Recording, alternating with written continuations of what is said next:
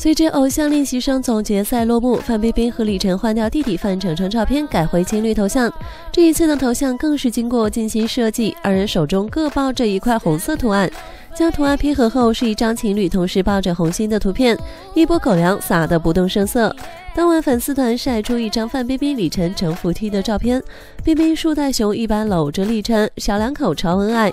自从范冰冰与李晨公开恋情后，两人就非常大方，不时的向大众秀恩爱。前段时间，李晨向范冰冰求婚成功，但好像并没有结婚的打算。而近日，有网友拍照范冰冰带着妈妈与李晨现身餐馆吃饭的照片。早前，李晨接受某杂志采访时，曾透露自己范冰冰的婚礼应该在今年的下半年举行，不知道。这一次碰面，对于两个人工作非常繁忙的他们，是否商讨婚礼事宜呢？近日有网友偶遇到李晨、范冰冰一行人外出会友聚餐，范冰冰带着妈妈张传美先行走出餐厅，李晨紧随其后，化身老李大黑牛帮忙收拾东西，轻车熟路，一点都不含糊。完全已经与范冰冰有了一家人的姿态，将一些随行的东西往范冰冰的车后备箱里放。这次碰面，李晨也展现出了平时闷头干活的一面。